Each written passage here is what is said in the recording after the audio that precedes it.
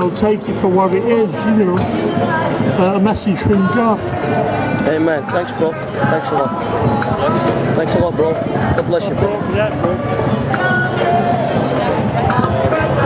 Oh, do you want to ask me a question then? Jay, what, what led what led you to believe that the um, the Bible is the Word of God, and what convinced you so much of Christianity to be the truth of who of what God is and what everything's about in the world? Well, uh, there's so many lines of evidences. First of all, the historical evidence of Jesus, that he lived, he existed, the Bible. The Gospels are based on eyewitnesses. Can I have a look at your leaflet? Yeah, yeah, they're free, mate. They're free. Um, eyewitness accounts in the Gospels. Gospel of John is eyewitness. So we know that Christ died and rose again through the eyewitnesses, but we have historical evidence like Josephus, etc. Then philosophical evidence. Without the Bible, you can't know anything.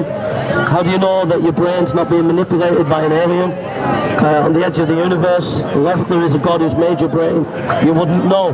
So without the Bible, you couldn't know anything. And then the scientific evidence.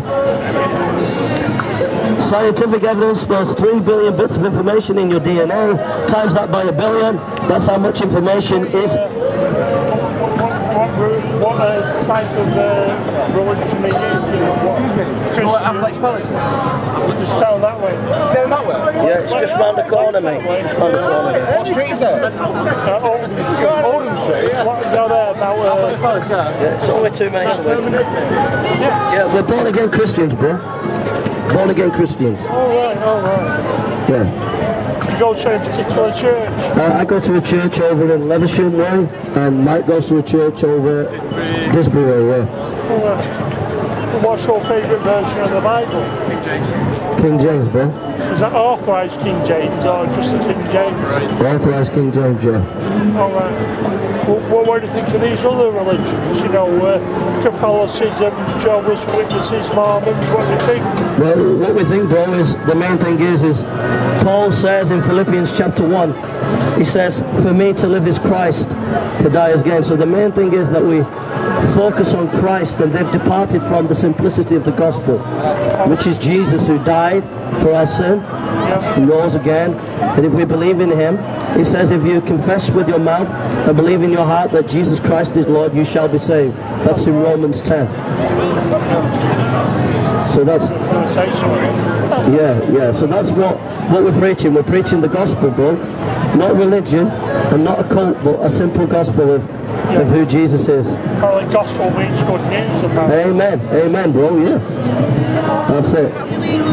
Amen. You guys ever been to the Holy Land? No, we'd like to go. I think we'd all like to go, though. That's same here. Yeah, yeah. You've been there. No, I haven't. I've been to Greece. Uh, well, never got as far as uh, Israel or Yeah. Jerusalem or Yeah. St Paul's Bay, uh, which is on Greek island, the island. Yeah, yeah, I've heard of it. Yeah, I've heard of it. Near Lindos. Lindos is where Paul the Apostle boat came in. There's a church there, dedicated. Yeah, yeah. The passage from Galatians is actually on the church just outside. What's There's a passage Wow. from Galatians outside the church in Greece. Yeah, yeah. So we're, we're just preaching about Jesus, bro, and about trusting Him as Lord and Savior, and having faith in Him. And, and repentance and faith towards Jesus Christ. Because there's an old hymn, take my life and let it be consecrated, Lord, to thee. Take my moments and my days and let them flow in ceaseless praise. So let's trust in Jesus. That's right. Put our faith in him. He'll never let us down, bro. thinking going to, going to places at night. Uh, uh, Jesus wants you to get a taxi, not to walk in this. Uh, Well, that's mighty nice. Assalamu alaikum. Are you okay? God bless you. That's very kind. Well, this is. That's three pounds. pounds. It's nice to meet you, ladies. Yeah. So, No, would you like to buy one? That's what to say. how much are they? Pounds. A pound. Yeah. Well, Thank you very much. okay. There we are. For donation charity. Yeah, yeah. Oh no. I'll go for that one. Thank you. Okay. See you. Good work. Hey, bro, I remember you. How you doing? Oh, you You all right? Muslim, yeah. Yeah, you're Muslim, Muslim, yeah. These Love are, it, these love are it to halal meet you. sweets. Halal a pound. A pound for these sweet ones. Hey, we're, we're, we're doing preaching about Jesus. Yeah, you no, believe I, in I Jesus? took a, I took a leaflet that you gave me last time. I was oh, with yeah. friends. did you read it? Yeah, I did. What did you think of it? Interesting. Interesting. Yeah? Yeah. Oh, Okay, guys. Thanks a lot, guys. God bless you, bro. Nice to talk to you. Nice to talk to you, ladies. Church. Church is not a building. Church is together. Unity. Hope in Jesus Christ for eternal life. Uh, use us all. That's what his life is on that. Just like that one figure. Gave his life because he loves us so much. He wants us to spend eternity in heaven. He's known as the Saviour. He saved that which was lost in the Garden of Eden. Sin came into the world. and He came to, to repair and restore. That's the message of to be our own.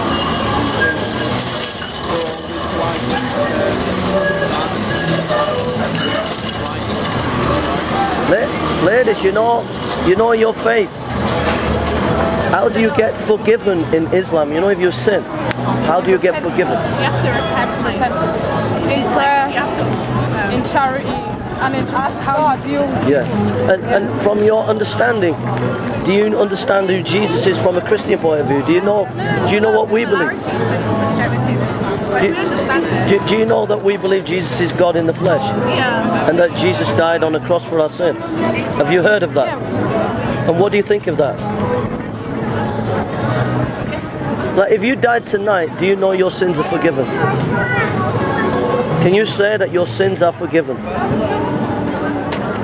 If you was to die tonight and you met God, can you say your sins are forgiven? It depends on you as a person. It's not like everyone is forgiven. It's if you repent and it's personal to you. That's what I'm saying. But what we believe is when Christ was on the cross, He took your punishment for you. So if you believe in Him, He says if you confess and believe in Him, you're forgiven. Because it's like having a t-shirt. Imagine you hugged your husband, you got married to a husband, and you got oil on your t-shirt, and you hugged your husband with an oily t-shirt, you put that dirty oil on your husband. We have a dirty heart, and we come before God, it's like a dirty, oily heart. But now you take your oily t-shirt off, and you put a white t-shirt on. Now you hug your husband, you're not going to get him dirty. When you believe in Jesus, He's your what, your righteousness, your white T-shirt. And when you go to God, He doesn't look at your sin; He looks at Jesus' righteousness, and you're forgiven in, in Jesus. You're so nice, ladies. God bless you. Thank you. Thank you so much. God bless you. God bless you. Thank you. I know it's a big thing to shake hands in Islam. Sorry. Sorry about that. Fine, my hands Sorry. We respect that. Sorry. Yeah. God bless you. God bless you.